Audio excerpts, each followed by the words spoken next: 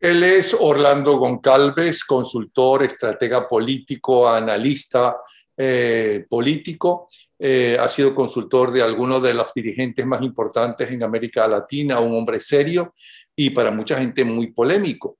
El más reciente trabajo eh, que ha publicado Goncalves comienza así, que me parece muy, muy interesante con los números con los cuales gana eh, Petro, eh, le votó menos del 29% de los electores. Es decir, 7 de cada 10 no le votó.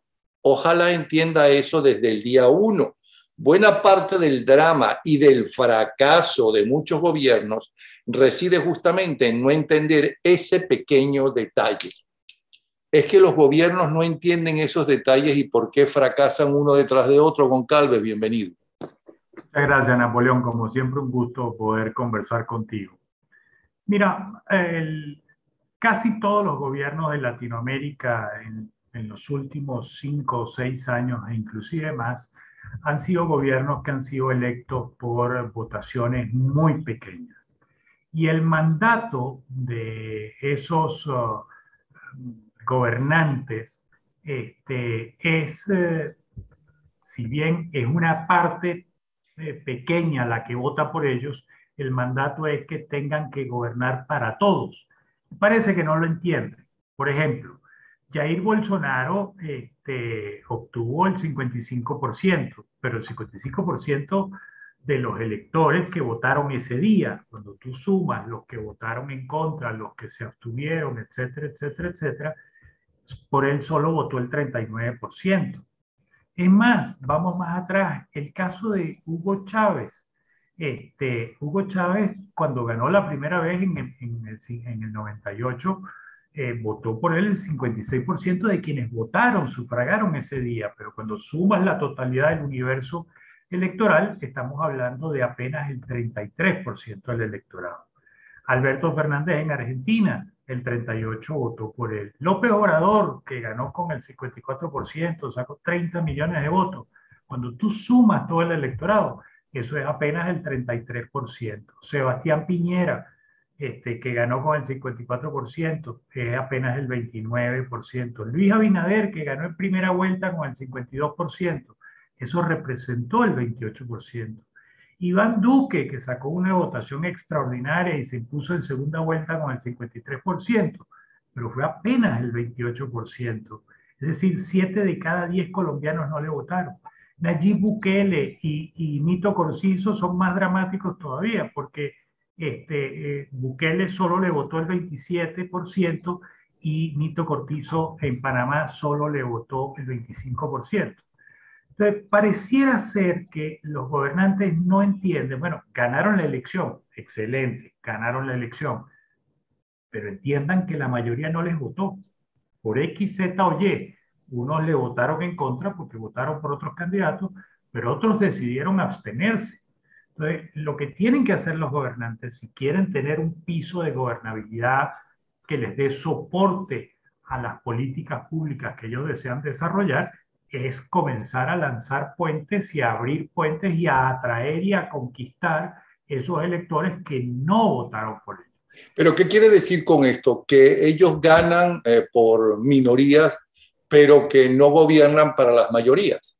Es correcto. Si tú ves el estudio del Latinobarómetro, este, por ejemplo, en Colombia, el 82%, si no me equivoco, no, no recuerdo ahora bien si es el 80 o 82%, piensa que eh, quienes gobiernan lo hacen para ellos o para sus grupos de poder y grupos económicos, no para toda la gente. Y el promedio en Latinoamérica está sobre el 60-65% que piensa exactamente igual. Pero antes, cuando existía el bipartidismo en toda América Latina, y vamos a hablar de dos países, concretamente Colombia, que ahora es noticia, y Venezuela, eh, gobernaban entonces para la mayoría. Mira, no había tanta ah, discriminación como hay hoy en día. Este, tanto Colombia como Venezuela y como buena parte de los países latinoamericanos, sus democracias se han venido debilitando. Los líderes de aquella época, de la época de los 50, 60, inclusive 70, este, eran líderes que tenían tatuados en el alma los principios democráticos y la lucha era por la democracia, no por los intereses.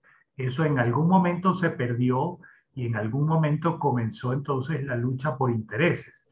Los partidos dejaron de ser los articuladores, los intermediarios entre los ciudadanos y el Estado para hacer unas maquinarias electorales que su única función era ganar elecciones.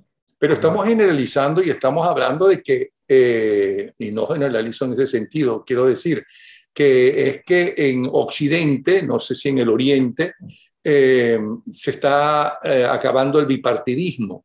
Ahora hay multitud de partidos políticos por un lado y además la gente se está radicalizando, están en los dos extremos y la gente de centro, la gente eh, que podía escuchar a unos y a otros y tomar decisiones y apoyar unas veces a uno y apoyar otras veces a otros, hablando de centro, de izquierda o de derecha, pues eh, no de los extremos, parece que está desapareciendo. ¿Qué es lo que está pasando? Porque no es solamente Colombia y Venezuela. Es correcto. Ah, no es que esté desapareciendo, sino que cada día se alejan más de la política.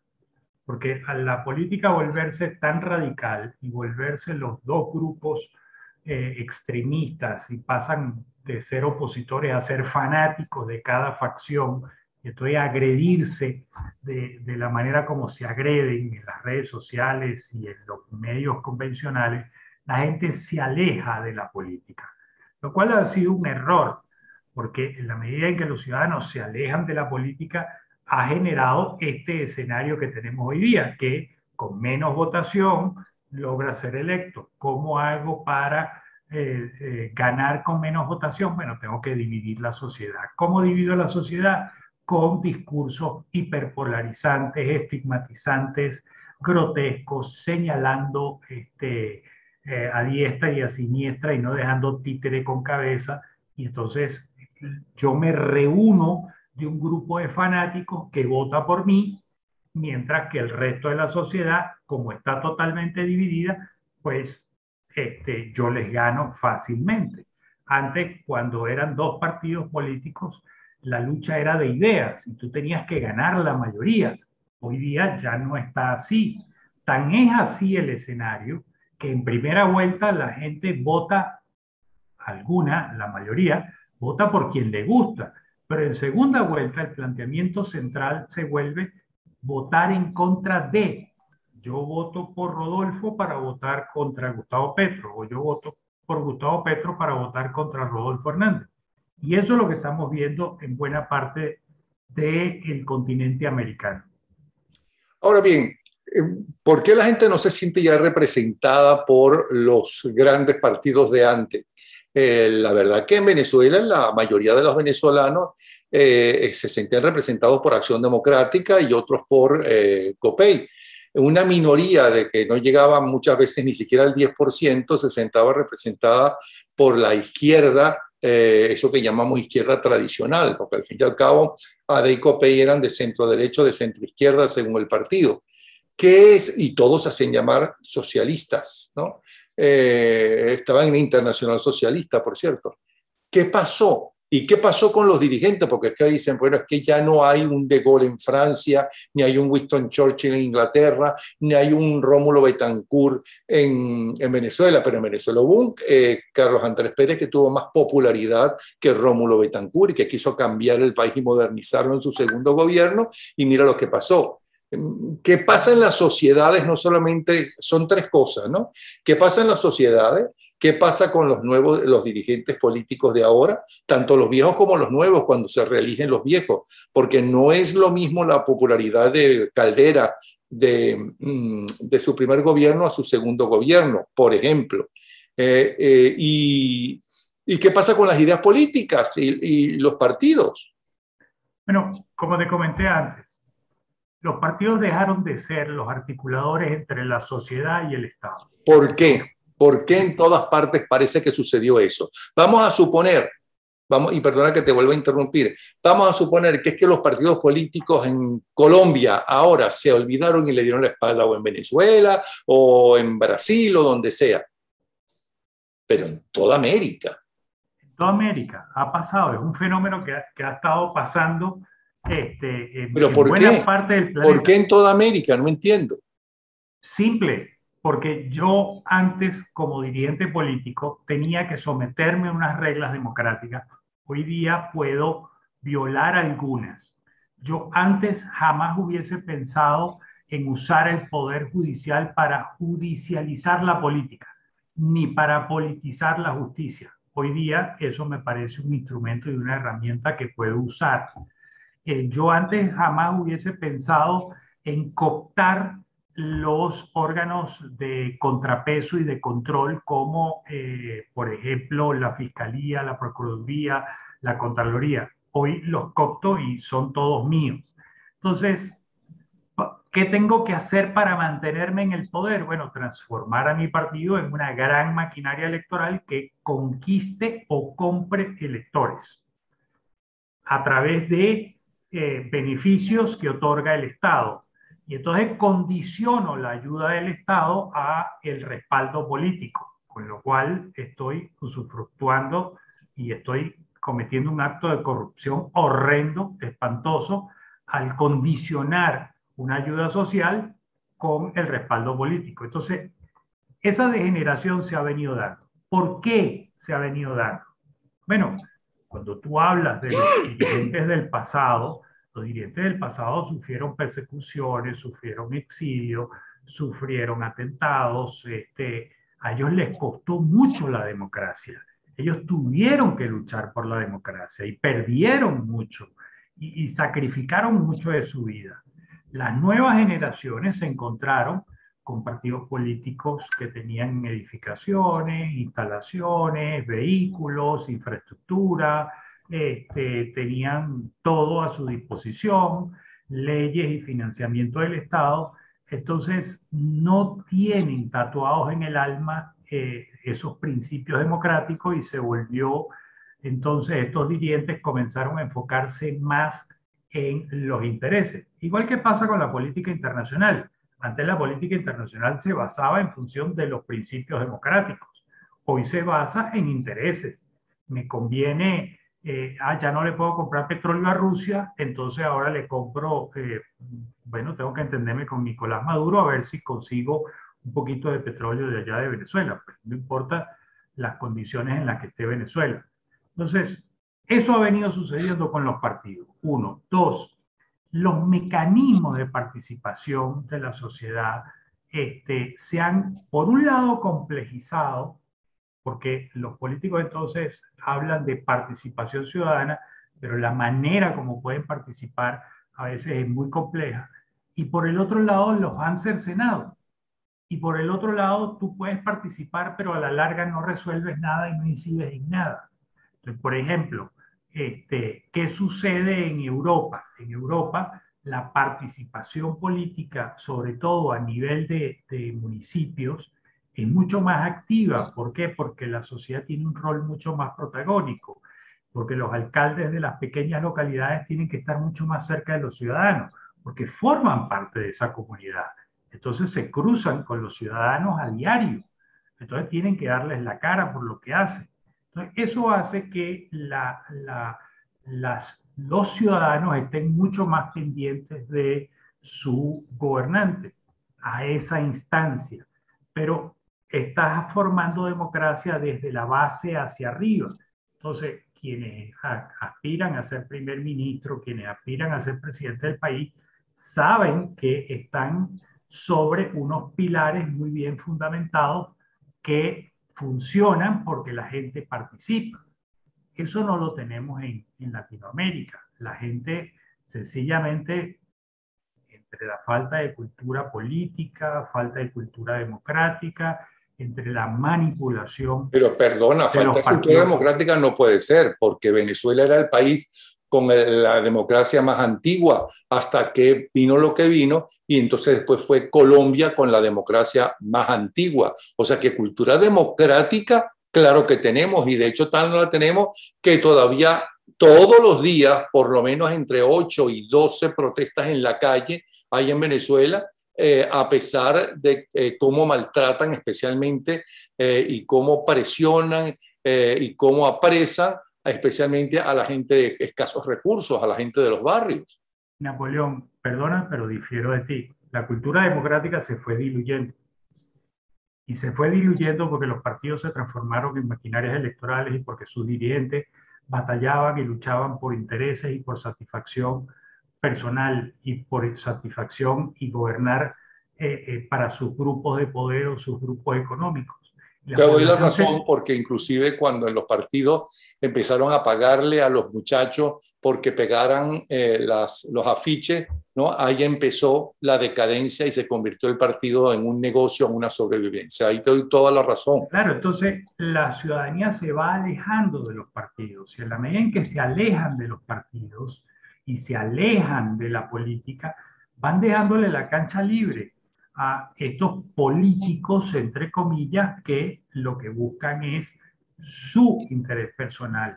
Pero fíjate una cosa, estaba leyendo y lo pasé, hice el tweet, lo, retuiteé, eh, un trabajo en CNN, no me acuerdo de quién, bien interesante sobre de dónde salen los principales dirigentes de América Latina, ¿no? su trayectoria de Petro, de Lula, de Fernández, y la mayoría, excepto el chileno, ¿no? la mayoría era, ¿cómo se llama? Ha tenido cargos importantes, o alcaldes, o, otro tipo de cargos importantes previos y en ciudades importantes. O sea que eh, llegan aprendidos de algo. No es como Chávez que llegó aprendido de nada. Claro, pero de nueva vuelta, el, tema es que a lo largo del tiempo se ha venido eh, degradando. Por ejemplo, el caso de Colombia. El caso de Colombia es que durante 200 años el Partido Conservador y el Partido Liberal, y luego las derivaciones de esos dos partidos, este, porque hay que recordar, por ejemplo, eh, el expresidente Álvaro Uribe viene del Partido Liberal, el expresidente Vargas Lleras viene del Partido Liberal, el expresidente Juan Manuel Santos viene del Partido Liberal. Entonces, todas esas derivaciones fueron originando nuevos partidos y fueron dividiendo a la sociedad. Lo mismo pasó en México con este López Obrador. Lo mismo pasó en México, lo mismo pasó en Venezuela cuando comenzaron a, a, a haber incisiones dentro de COPEI, dentro de Acción Democrática y se comenzó a dividir y comenzó a ramificarse y después dentro de la propia izquierda venezolana también. Entonces, todo eso, eh, en el caso colombiano específico, son 200 años que ese modelo logró funcionar, pero se fue desgastando, se fue, fue perdiendo la iniciativa, fue perdiendo la inventiva, fue, eh, fue eh, desarrollándose hasta que llegó el momento, por ejemplo, en este gobierno del presidente Iván Duque hubo dos estallidos sociales. Oiga, ¿Dónde están las sentencias de la gente que murió en esas, en esas ah, protestas? No hay. ¿Dónde están los muchachos que protestaron? Ah, bueno, ah, muchos de ellos están detenidos. Bueno, muchos no, pero hay un porcentaje importante que está detenido. Pero entonces detienen una parte porque teóricamente generó violencia, pero los fallecidos a manos del Estado de hecho, la Corte Interamericana este, eh, ha sentenciado que eh, fueron crímenes de Estado. No, y, ya sé, y en lugar de estudiar qué fue lo que está pasando, ¿no? Como no lo estudiaron en Venezuela con el Caracazo y con los dos golpes, no, la culpa es de ese grupo de Puebla que, que son brillantes y que todos lo saben, que saben más que todos los analistas latinoamericanos, que todos los analistas norteamericanos, que todos los analistas de los países democráticos europeos que pueden apoyar a los demócratas. Esa es la, la, salida de todos ellos. Claro, pero... pero ah, no, y que Soros está detrás. Ahora también es Soros el que es un millonario que quiere darle el poder ¿no? a los comunistas. Ahora, pero voy más allá. Revisa el mapa de la elección colombiana y es interesantísimo. Ves que Gustavo Petro ganó en los bordes, ganó en la costa caribe, la costa pacífica y el sur de eh, suroccidente de eh, Colombia, ¿no? Esa parte que es, es la parte más pobre, es la parte más olvidada, es donde menos Estado hay, donde menos carreteras, menos hospitales, menos escuelas, menos atención, mayores niveles de pobreza y de exclusión, mayores niveles de hambre. Entonces, la gente sencillamente se hartó. ¿Y quién votó en el centro del país? Votó gente que tiene un poquitico de mejores condiciones, pero que trabaja enormemente y que está harta de que este, cada día le cobren más impuestos y no haya contraprestación de esos impuestos. Bueno, pero pobreza siempre, en todas partes del mundo hay pobreza, en todos los países del mundo. En unos países es más radical la pobreza que en otros, pero la pobreza en América Latina nunca dejó de existir. Entonces, ¿por qué antes, antes no pasaba eso y ahora sí? Porque antes los pobres creían que votando por un partido iban a ganar realmente una vida mejor eh, y si no, a los cuatro años votaban, o a los cinco según el país, votaban por el otro partido, pero creían en eso. ¿Qué fue lo que pasó? Porque realmente podían aspirar a una vida mejor, porque realmente había un Estado que trataba de llegar y de preocuparse por ellos. O sea, ¿cuánto no se hizo con campañas de vacunación? ¿Cuántas vidas no se salvaron? Y eso fue mejor calidad de vida. ¿Cuánto no se hizo con vivienda social? ¿Cuánto no se hizo con masificar la educación? Pero no era más fácil gobernar antes que ahora. Estaba diciéndole hace unas horas a, otro analista, estaba preguntando que le estaba diciendo, a mí me hubiera gustado y, me arrepiento no haber, no sé, me haber, haberlo ocurrido cuando conversaba, por ejemplo, con Carlos Andrés Pérez o con Rafael Caldera, ¿no? que gobernaron en dos momentos diferentes de la historia de Venezuela. ¿no? Si no era más fácil o más difícil gobernar cuando gobernó en su primer gobierno que con el segundo para solucionar problemas. Da la impresión, aunque no se lo pregunté, corrígeme si estoy en un error, que antes era como más fácil buscar la solución y lograr, aunque sea soluciones parciales a los problemas que ahora en cualquier parte del mundo. En buena medida sí lo era, por varias razones. La primera, había posibilidades de hacer acuerdos políticos transparentes donde la oposición terminara apoyándote en el Parlamento para que tú pudieras tener la ley o pudieras tener el presupuesto. Segundo, el volumen de los problemas era menor. Tercero, el rezago de las acciones del Estado era muy pequeño. Hoy en día hay, o sea, explícame por qué en pleno siglo XXI hay comunidades de Colombia y comunidades de Venezuela, por ejemplo, y de Brasil y de Paraguay y de Argentina, que no tienen agua pero tienen electricidad. Eso es un rezago del Estado de por lo menos 60 años. pero es que hace 60 años había comunidades en todos esos países donde no tenían agua ni electricidad. Claro. Aunque como nunca el país creció con los primeros gobiernos de Adeicopey pero, pero existía pobreza. no acabaron con la pobreza, no pudieron hacerlo. Pero había posibilidades, la persona tenía la posibilidad porque el Estado le brindaba la oportunidad. No estoy diciendo que el Estado le daba dinero ni le daba dávidas, el Estado le brindaba la oportunidad de progresar, de aspirar a más, de formarse a través de la educación, de poder tener un mejor ingreso porque tenía un mejor trabajo, porque él se preparaba más sus hijos tenían un futuro porque este, él, ellos podrían estudiar más que lo que él pudo estudiar y podrían progresar. Había esa ilusión y había esas ganas de vivir.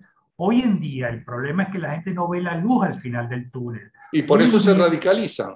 Claro. Entonces que se vaya todo a la porra. ¿Qué, ¿Por qué votaron en Colombia? En la primera vuelta votaron, el 72% votó contra los partidos del status quo votaron por un lado con Petro, que representaba el cambio y el cambio del status quo y el cambio de la clase política tradicional, y votaron por un señor que decía que todos eran una porquería, todos eran unos ladrones, unos bandidos, unos marihuaneros, unas prostitutas, que se lo robaban todo, y entonces se transformó en el vengador de la gente. Entonces la gente quería cambio. Entonces tenías a Petro, que representaba un cambio, y tenías al otro grupo que querían que un cambio total, es decir, que se vayan todos a la porra, que desaparezcan todos los políticos y que venga este empresario, entre comillas, a dirigirnos porque este sí sabe y este es el vengador. O este es, la actitud de la gente. M19. M19 que se pacificó hace 30 años y que desapareció hace 30 años, pero además, ¿de dónde viene el M19? El M19 nace a raíz de que le roban unas elecciones a un militar en Colombia, que era este señor Pinilla. Es ahí cuando nace el M19. Entonces el M19 sale del ejército. Después en el transitar se fueron hacia el lado de la izquierda, pero nace de ahí. Entonces los orígenes del M19, que todo el mundo habla de, de los comunistas y tal, qué sé yo, nace del ejército y nace como un mecanismo de protesta ante unas elecciones fraudulentas que le roban al señor Pinilla y eligen, entre comillas, a un señor de apellido Pastrana. Pero eso, eso que tú dices de que son, eh, llegan al poder con el apoyo de una minoría, todos estos, eh, toda esta gente, sea de, llámese de derecho, llámese de izquierda, no sé cuál es la diferencia entre unos y otros hoy en día eh, en, en, la práctica, eh, lo que sí sé es cuando son unos dictadores, no importa que sean de derecha o izquierda, son unos dictadores, pero ¿qué es lo que está pasando? Es decir, ¿por qué no se dan cuenta de que para poder perdurar, para poder tener el apoyo popular y así gobernar más fácilmente, ya sea porque quieren realmente a su, pueblo, ya sea porque quieren el poder y el dinero, no sé eh, lo que los motiva, ¿por qué razón no gobiernan para la mayoría? La, las respuestas pueden ser múltiples. La primera, a mi manera de ver, por incapacidad, por ignorancia, por tener una mentalidad muy pequeña, cortoplacista, de eh, votar, eh, perdón, de gobernar y yo soy el rey, yo soy el todopoderoso y yo gobierno, este, y después de, de los que vengan atrás que arreglen. Yo conozco un solo individuo que el día que asumió el poder dijo, mi triunfo estará en que yo pueda entregarle el gobierno a un copartidario de mi partido. Eso significará que yo he hecho bien las cosas. ¿Quién es ese? Horacio Cartes en el Paraguay logró hacerlo, pero a la final también cometió una serie de errores que no tenía por qué haber cometido por ambiciones desmedidas de poder. Bueno, pero, lo mismo le sucedió a Rómulo Betancourt, que entregó el poder a Raúl Leoni, por ejemplo. ¿Y por qué lo lograron? Lo lograron porque hicieron una buena gestión, porque lograron comunicarla y lograron convencer a la población que era la mejor opción. Y después Leoni pierde con, eh, Acción Democrática pierde con COPEI y llega a Bueno, se divide Acción Democrática y gana COPEI. Entonces. Pero, eh, pero si hubo un copellano que ganó por votos sin la división de Acción Democrática que se llama Luis Herrera. Claro. Ahora, había alternancia, uno, dos, los gobiernos a veces se podían equivocar, pero trataban de hacer las cosas bien y, trataban de hacer las cosas en función de la gente y en función de planificar el futuro. Insisto, ¿y por qué ahora no quiere nadie aparentemente hacer eso? O sea, ¿qué cambió en el mundo? ¿Qué cambió en la mentalidad política general? No qué cambió en la mentalidad política de, los de la dirigencia política colombiana o venezolana o argentina o mexicana. ¿Qué cambió? ¿Por qué cambió? La inmediatez. Antes leíamos periódicos, hoy leemos 100, 280 caracteres en Twitter, pues ya nos consideramos informados y no leemos más. Entonces la inmediatez y la rapidez con que acontecen los acontecimientos es de tal magnitud que si tú no eres un gobernante que planifica, que piensa en lo estratégico, que piensa no solo en el rédito político, sino que piensas en dejar un legado para el futuro, pues entonces tienes a esta mayoría de estos gobernantes que son momentáneos y que pasan a la historia y que la historia les dedicará dos líneas. Este, Napoleón Bravo, presidente de tal fecha a tal fecha, se acabó, no dice más nada, qué transformó, qué hizo, qué cambio, nada de eso está anotado. ¿Por qué? Porque la inmediatez los lleva a reaccionar de manera muy rápida, por un lado, y por el otro lado, a que no establezcan las prioridades. Te pongo un ejemplo en Panamá. En Panamá se planteó hace, eh, ya casi 20 años, bueno, hacemos un, un metro o ampliamos el canal. Y lo que decían las encuestas era que había que hacer el metro. ¿Qué hizo el gobernante en ese momento? Amplió el canal de Panamá. ¿Por qué amplió el canal de Panamá y no hizo el metro? Porque el canal de Panamá le iba a redituar al país ingresos muchísimo más grandes que no le iba a redituar el metro de la ciudad de Panamá. Y las encuestas decían lo contrario, la gente quería el metro, pero este gobernante tuvo la osadía de entender, oiga, lo que le conviene al país es ampliar el canal, porque tenemos buques post-Panamá que no caben por el canal donde está, que tenemos. Y entonces ampliaron el canal de Panamá. Eso es tener visión de Estado, eso es tener una visión estratégica, eso es pensar en el futuro de la Pero no escuchó a su pueblo, que tú dices que es que no escuchan al pueblo. Porque fue más allá de escuchar a la gente. Él consultó, pero él le explicó a la gente, oiga, con el metro, bueno, quedará la ciudad. Pero ¿para qué va a consultar si de todas formas él ya tenía pensado que había que hacerlo de Canal Panamá? Lo que tenía que haberle dicho a la gente, nos conviene el canal de Panamá, ¿ok? Y, fue lo que trataremos de hacer un metro. Y fue lo que hizo. Y fue lo que hizo. Le comunicó a la gente, mire, mucho más rentable es en este momento ampliar el canal. Entonces, el problema es que los gobernantes llegan muchas veces con muy mala preparación, muchas veces sin entender cómo funciona el Estado, muchas veces sin ah, tener una visión integral del problema, muchas veces sin saber, simplemente aspiran llegar al poder porque quieren acceder este, al privilegio de ser gobernantes, de poder ellos eh, eh, ejercer el poder, pero no están preparados, no, no tienen una visión integral del país o de la ciudad y bueno, tienen resultados mediocres.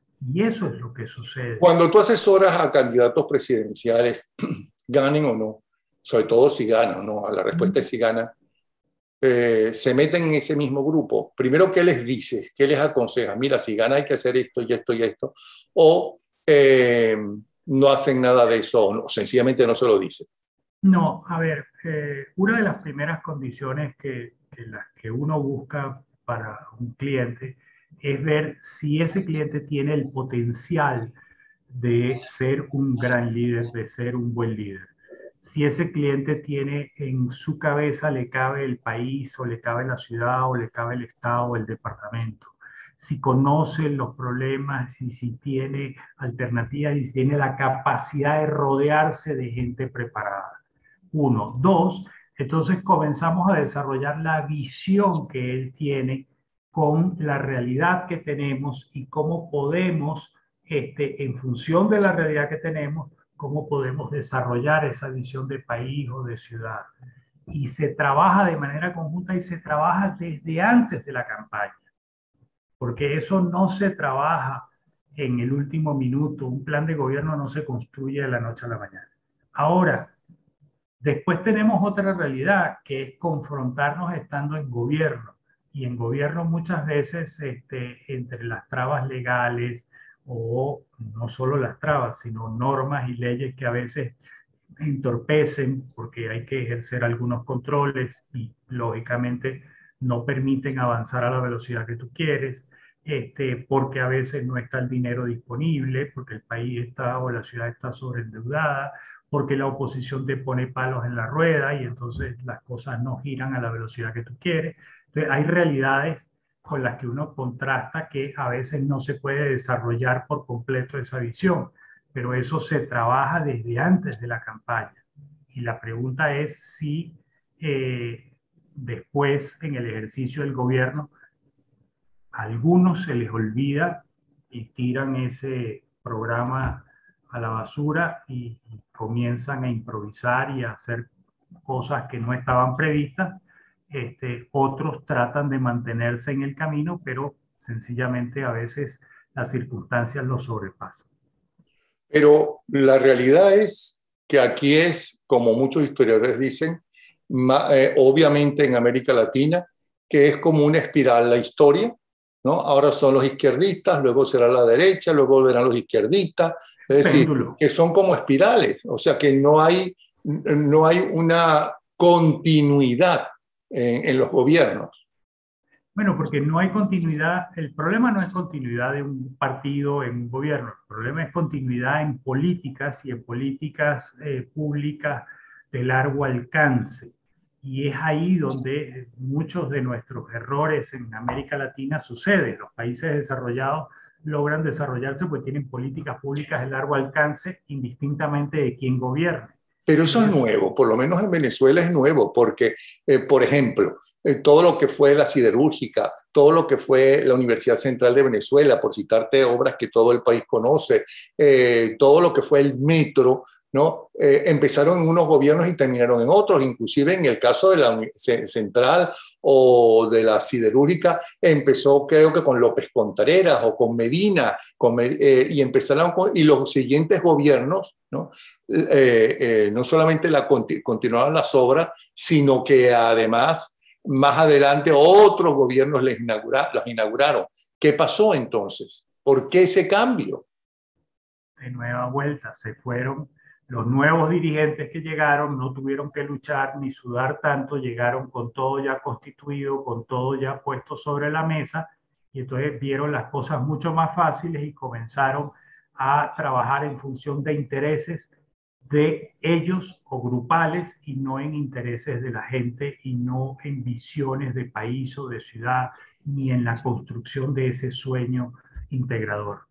Y los eh, pueblos no piensan un momentico, no me gustan este, pero no voy a a radicalizarme por otro radical que me va a traer una dictadura y que se va a quedar perpetuándose con más defectos de los que hoy me agobian en la presidencia. ¿Eso no lo piensan? No, te pongo el ejemplo. ¿Por qué en México, después de cuatro años, que López Obrador no ha hecho absolutamente nada trascendente que tú digas, wow, es que esto cambió, México se divide antes de y después de? ¿Por qué México López Obrador sigue teniendo a niveles de aprobación sobre el 55%.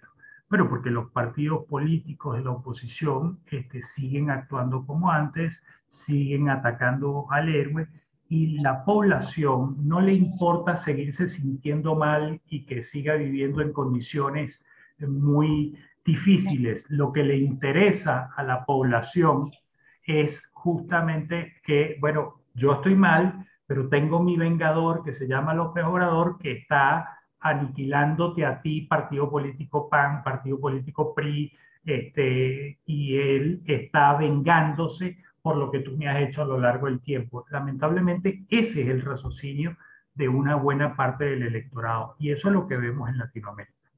Orlando, muchísimas gracias. Como siempre, bien interesante tu conversación y tu análisis. Orlando Goncalves, consultor y estratega político. Ustedes tienen ahí cómo eh, poder leer todos sus trabajos y sus twitters. Gracias, Orlando, ¿sí? Gracias a ti, Napoleón. Como siempre, un gusto, un abrazo. Igual.